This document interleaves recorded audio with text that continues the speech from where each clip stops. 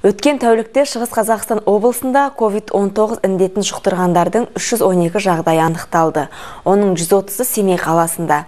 Қазір облыстың стационарларында 310 адам бар. Олардың 29-ы ауыр жағдайда, реанимацияда жағдайында жатыр. Қалалық денсаулық сақтау бөлімінің мәліметінше, емханалардың бақылауында Семейдің 902 тұрғыны бар. Оның ішінде 202-сі аурудың симптомсыз түрмен, қалған 700-і жеңіл симптомдармен емделуде.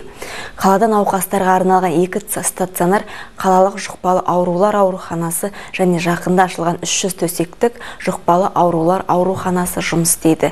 Қалалық денсаулық сақтау бөлімінің басшысы думан берікұлының айтуынша птр оң диагнозы бар және ковидті пневмониямен ауыратын науқастар бар. Өлім жітім статистикасы екі пайызды құрайды. Бұл ағымдағы жылдың басынан бері 34 жағдай. Естеріңізге сала кетейік қалада жылжымалы екпе жасау пункттері жұмысын жалғастыруда. Бүгінгі таңда екпенің бірінші компонентін 105.994, екінші компонентін 69.460 адам алған.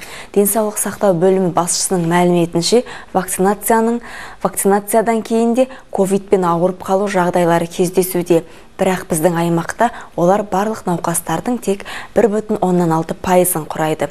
Мұндай пациенттерде ауру жеңіл немесе астматика асиматикалық болып табылады. Балалар арасында ауру көрсеткіші бәсеңдемей тұр.